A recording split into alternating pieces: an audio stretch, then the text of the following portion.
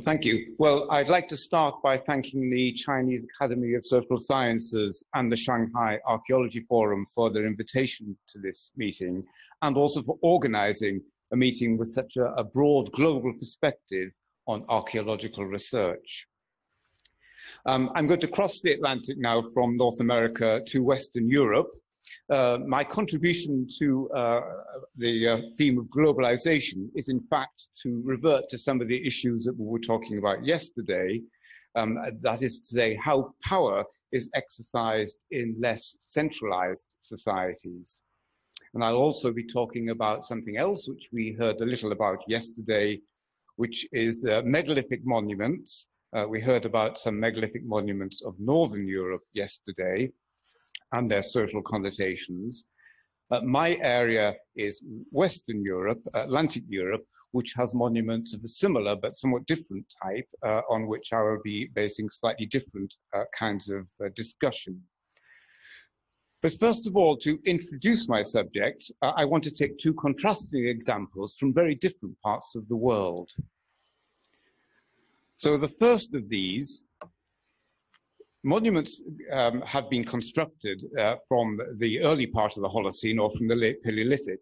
And this is one of the earliest uh, burial mounds of which I'm aware at a place called L'Anse Amour in, uh, western, in eastern Canada, uh, on the east coast of Canada, which is a simple pit uh, lined with stone slabs uh, containing a single individual um, under a mound of blocks about eight meters across um, and what is interesting, of course, is to uh, try to understand what the selection of the individual who was chosen for this rather special kind of burial might have been based upon. And what we can see here is that the burial is rather unusually placed uh, face down and has a stone block placed on the, the back, on his back, which you may be able to see if you look closely at this diagram. So this is somebody who has been selected for a particular kind of burial. Uh, the monument itself is only eight meters across, so is relatively modest in its dimensions. At the other end of the scale are burial mounds such as the Kofun uh, keyhole tombs of Japan, uh, including this, which is the largest of all, the Daisen keyhole tomb, uh, which measures uh, almost 500 meters in length, or even more if you include its three encircling moats and uh, the tomb itself reaches a height of 35 meters. Uh, we don't know exactly who is buried in it, but uh, th there's a whole series of these uh, large mounds, and they are clearly the burial places of the early rulers of the Japanese state. This one dates to the 5th uh, century AD. Interestingly, uh, the burial is not below the mound, it's actually raised on the, cent- on the top of the central uh, circular part of the, of the mound that you see there. Um, the Japanese mounds belong to a period, the large mounds, I should say, belong to a period of around two centuries as the Japanese state was becoming consolidated. And once it became consolidated, uh, there was the introduction of Buddhism in the seventh century, and uh, large mounds no longer were built. And uh, this idea that large monuments may sometimes be involved with the establishment of power, and once that power is established, large monuments may no longer be required, is something which uh, may have wider relevance. Now, to, my, my subject, as I say, is European, is West megalithic, West European, uh, sorry, megalithic tombs. And of course, within that is the term megalithic. So these tombs are built of large stone blocks, oversized blocks, you might say. They're found uh, throughout Northern and Western Europe. Um, the ones I'm going to be mainly talking about are in Atlantic France. Now, the use of megalithic blocks, these very large stone slabs, uh, in itself seems to convey uh, an expression of power, the ability to bring a labor force together sufficient to quarry these stones, to drag them, not always very great distances, and to raise them into position.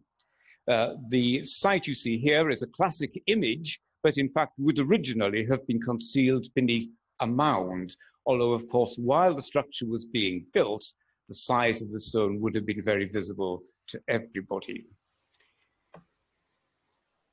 And it may be that only particularly powerful lineages were capable of building very large tombs like this. Uh, there are other features of megalithic architecture which I'm not really going to talk about, but that is to say that they're not um, haphazardly chosen stones. The stones used were carefully selected.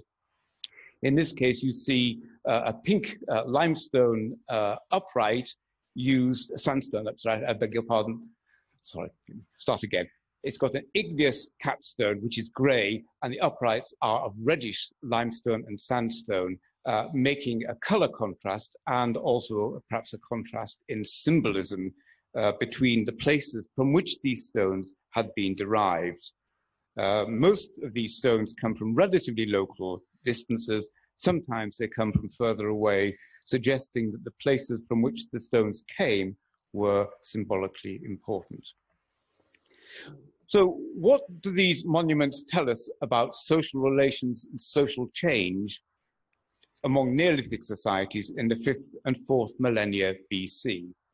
And to explore this, I'm going to give you three uh, brief case studies from my own main area of research in Western France.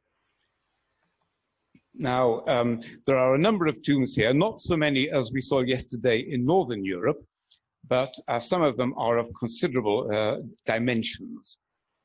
The first example I'm going to look at is this area, this famous area, uh, the Carnac area of southern Brittany, which you see outlined in red there. Now, this area contains megalithic monuments that are not only uh, burial chambers between, beneath sometimes impressive mounds, but also unusually large standing stones.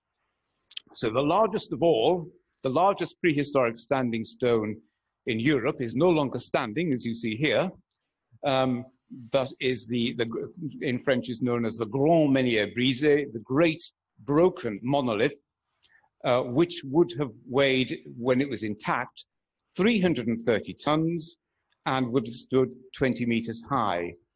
Uh, it is an enormous stone and stands apparently right at the beginning of the megalithic sequence.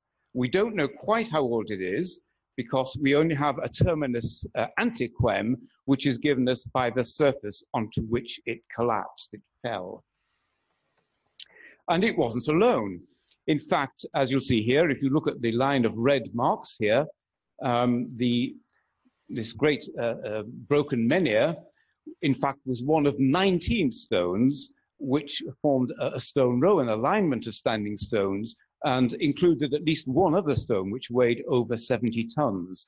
And uh, a hypothetical reconstruction of the stone row when, was in, when it was intact is given uh, up at the top right.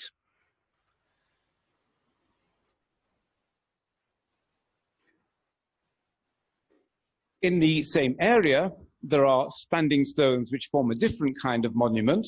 These are these large stone rows which consist of parallel lines of stones, uh, which can extend one kilometer or more over the landscape and consist of uh, 10 or 11 lines of stones. The largest of all um, is the stone row of Kerzerho, which extends 2.1 kilometers over the landscape um, this, this is one of the, this is the second largest extending 1.1. The very largest extends twice as long, 2.1 kilometers, and contains even more stones, 1,129 stones, and some of those weigh over 20 tons. Now, associated with them, although not necessarily exactly contemporary, are a series of very large burial mounds. There are only six or seven of these as a map at the bottom right, showing you that there are only six or seven very large mounds. Uh, one of the largest, perhaps the largest of all, being this Tumulus de Saint Michel, uh, the uh, big mound there with a later chapel, a 17th century chapel built on its surface. And so large is the mound that the chapel only occupies a small area of the surface. Now, at the heart of this monument is a relatively small megalithic chamber, measuring only about two meters, 2.4 meters by 1.8, 1.8 meters across. Um, so it's a relatively small structure, and the mound that covers it, which is now measuring 120 meters long, did not achieve that form in a single step. It was built in a series of stages um, over po possibly as many as two or three centuries. But these are very, very large structures indeed, but very, very small burial spaces. Within these chambers, uh, the Tumulus of Saint Michel, this small burial chamber, has uh, 39 polished stone axes and 136 variscite beads. Um, I'm afraid I haven't got a photo of a variscite bead, but they appear in color very like the turquoise uh, materials we've seen in some of the previous uh, presentations.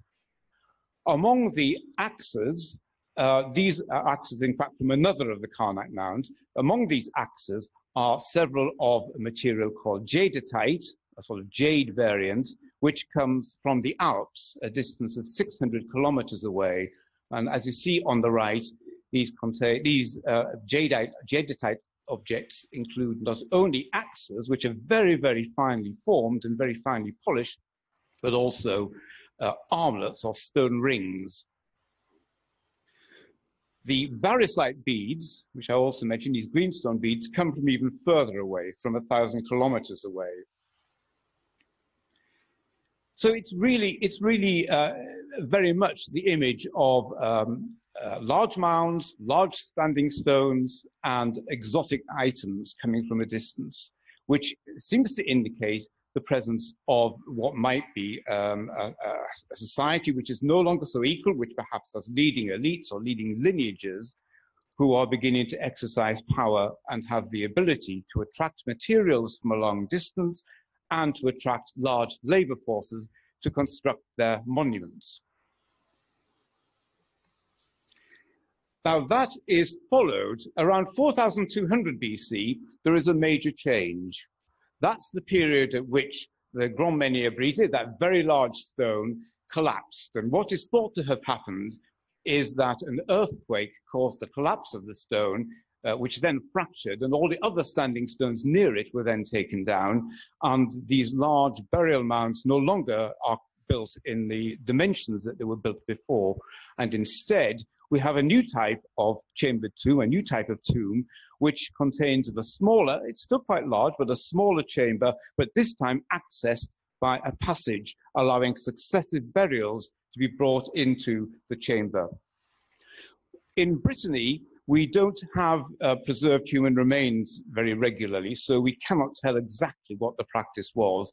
But these tombs are found very generally in northern and western France and uh, contain typically around 10, 12, or 15 individuals. So they are um, containing groups of people, not single inhumations, which is what we thought the big tombs previously contained, but um, they are not large numbers of people nonetheless. And they have no associated, significant associated burial goods. So we have um, the first phase, which is the large standing stones, some of them decorated, large burial mounds, exotic traded items, stone rows, which may equate with the rise of dominant lineages or individuals, followed around 4200 BC by a period of destruction. The, the, great, the broken stone falls after an earthquake. The other stones of its kind are pulled over, possibly because of a great ritual or uh, perhaps ritual power has been undermined by this natural event, the earthquake. Uh, in their place appear a new tradition of collective burials, which involve fairly large monuments but larger numbers of people and no longer including these exotic um, imported special materials of jadeite and variscite. And then finally, after a small gap, uh, about a millennium later, a few hundred years later at least, we have a new type of tomb appears. These are called gallery graves. In these cases, we have uh, potentially large numbers of burials, um, and again, without individual grave goods. Now, once again, in Brittany, we don't have preserved human remains, but these also are found in other regions. And uh, a very good example is this one um, to the east of Brittany, where there are remains of something like 350 individuals, some of them contained in uh, wickerwork baskets or stone boxes in successive layers. So this all suggests uh, one scenario that we might put forward to interpret this would be that there is an increasing democratization of burial. So we have megalithic monuments, the mounds are becoming smaller, the burial spaces are becoming larger, and more and more people are being buried within them. So the right to burial, the, the privilege of burial in one of these tombs is no longer so restricted. And, uh, excuse me, let's go back. Um, a French archaeologist, Jean-Paul Demoule, uh, some while ago uh, set out this scheme, this uh, model of changing social centralization or social control in France throughout prehistory and into the Roman period. And you see there uh, in this model, the black line shows varying degrees of social control and uh, you see I've marked on there where these different kinds of tomb bays stand. And his idea was that you get incipient social hierarchy, which is often followed by a reaction where um, the, the social control is unable to institutionalize itself properly. And so you get a reversion to a more collective and more communal kind of social behavior. Now, one of the problems with uh, the evidence I've just talked about is that, uh, as I've mentioned, it's about burial, but there are no surviving burials in this particular region because the soil is granitic, it's acidic. So what I now wanted to do is to look at an area immediately to the south of this area, and this is an area where I've done my own field work, and look at two sites where we do have preserved skeletal material within these burial mounds. And the first, the first of these is an area is an area of Western France, uh, as you see there, and the ring, the red ring, is marking the location of a site called Bougon. And Bougon is not a single monument, but a group of monuments forming a small cemetery of megalithic tombs. And uh, here is an aerial view and a plan, and you see it consists of five burial mounds, which are lettered A, B, C, D, in fact, D is, sorry, is missing. A, B, C, E, and F. D was there, but is a medieval feature. And we can see from that, we have two very large mounds, that's A and C. And C, in fact, has a small burial space, um, but a very large burial platform added onto the end. And uh, F, which in fact grows from a small chamber at one end uh, to a linear monument to which then is added another larger chamber at the other end.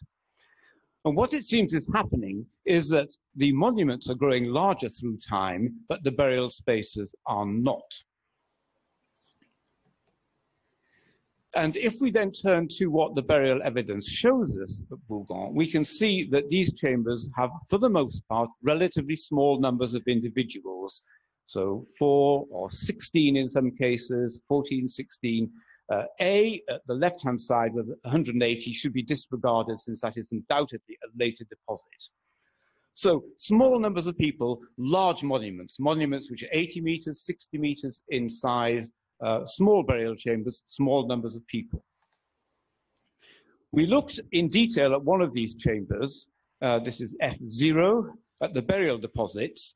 And here we've had the benefit recently of a study of ancient DNA by Olivier Cheronet and uh, Ron Pinhasi from the University of Vienna. And that has shown us that within that particular chamber, within that burial deposit, there are indeed three siblings one possible cousin, and uh, at a layer just above, a grandparent. And that very much reinforces the idea that these are indeed, uh, these are indeed family tombs. So that we are in fact having elite lineages who are building these, these monuments.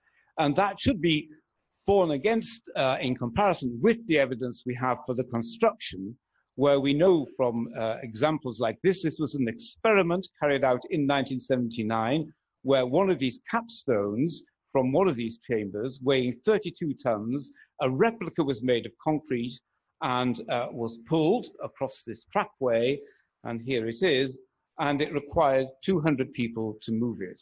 So we have 200 people perhaps pulling these capstones, but the burial spaces which they um, which they cover contain the remains of only perhaps five or 10 individuals. Now, just briefly, just to, to, bring this to a close, really, I just want to show you another example where we have done a more systematic excavation of one monument, and this is a Prissé-la-Charrière. This is the same period, and the same principle applies. So here we have a, a long mound uh, with um, a dry stone structure, a complex honeycomb of dry stone structures. And within it, there are three burial spaces. So, sorry, so you see it's actually a two-phase monument, green, in fact, three phases, purple, green, and uh, then the uh, yellow. Uh, and I'll show you first the purple monument, then I'll show you the burial spaces further to the east. So it begins with this uh, small chamber within uh, a circular surround of stones, which contains only three individuals, so a very modest beginning. That then is incorporated in the top there within a longer mound, which has a rock cut ditch completely encircling it. And then freestanding a little bit to the east is a second burial chamber in a circular surround. In phase two, all that is encapsulated within this much more massive long mound. And what, of course, is interesting from this is that the long mound, this 100 meter long mound, is much larger than is needed simply to cover the burial spaces. So these are a bit out of place, but they're the, the burial spaces. And we were very lucky that one of those spaces had been intact and had not been touched since uh, uh 4,200 or 4,300 BC, when it was last uh, occupied or last uh, used, I should say. Um, and uh, it contained a burial deposit of around eight individuals, a stone slab floor, um, an incense burner in the corner, you can see perhaps top left, um, but remains of only eight individuals and uh, a ritual ceramics incense burner, but no personal grave goods. So the, the message from this is undoubtedly that there are collective burials in the chambers, but no grave goods, um, and there is nothing to mark the status of separate individuals in the way the burials themselves are equipped. But there are very few individuals in a very large monument. So burial must be being reserved for particular families or individuals. Uh, here, however, at, at, this particular site, although the monument is large, I should say there are no large elements in individual stone elements. The largest element is this megalithic slab weighing two tons. Nonetheless, the scale of the monument definitely implies that this uh, is uh, a statement of power not just a place of, of burial for uh, the ordinary population, as it were. And I've tried to look at that question about the overall place of these uh, mounded burials within uh, the overall population of the Neolithic period. I've looked at that in Britain rather than France uh, in a project which we've called the Invisible Dead Project. And the purpose of this is to produce a database of burials to try and show how the numbers vary through time. And uh, this is just one of the charts on the right-hand side. And as you see, the levels go up and down a little bit. And what I would observe is that that bears no relationship whatsoever to the actual changes in population size. That is a reflection of changing visibility of burial. And I think we can never really understand these large monumental burials unless we have some overall understanding or a model which relates them to the burial population as a whole. And a lot of people have remarked, and even uh, in the last uh, day or so here, have remarked in the past how so much of the populations of prehistory and of more recent periods are missing from the burial record. So just to conclude then, we have these monumental expressions of power, power is conveyed by the overall size of the monuments and the ability to manipulate these large megalithic blocks. There's a disproportion, a disproportion between the size of the labor force required to build the monuments and the, and the size of the buried population. And uh, as I say, I think these mounded tombs can only properly be understood in the context of populations as a whole when we understand what selected part of the population is receiving burial in this way. Um, and it is also clear that for large sectors of the Neolithic population, uh, they are simply, as I said, the invisible dead. We simply cannot see them. And it is very difficult, therefore, to evaluate uh, burial mounds with these limited individuals against the overall society and its uh, burial practices and beliefs. Thank you very much.